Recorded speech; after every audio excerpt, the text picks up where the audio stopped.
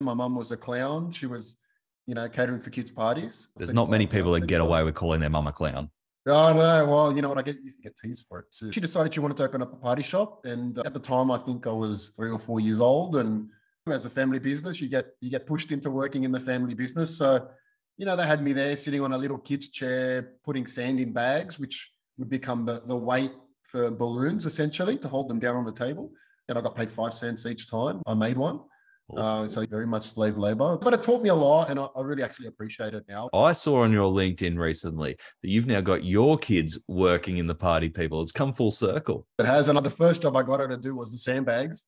she was pretty good. I mean, she was five when she first started. Now she's six, but like we had her in the yeah, like yeah, that's it. we got her working in the business. It was just so great. I mean, I again, I could talk about this a fair bit. It's something I'm actually a little bit more passionate about after doing it with my kid, and then thinking about what I learned from the experience of working in the family business and what values and work ethic it gave me. And then seeing what that means for, for her and, and thinking, well, this is actually pretty good. I want to do more of this for her because I wanted to gain this experience. I wanted to get this work ethic. I want this to be normal for her. And I wanted to be well adjusted later in life. I mean, I paid her 20 bucks as well, but I That's certainly didn't get good.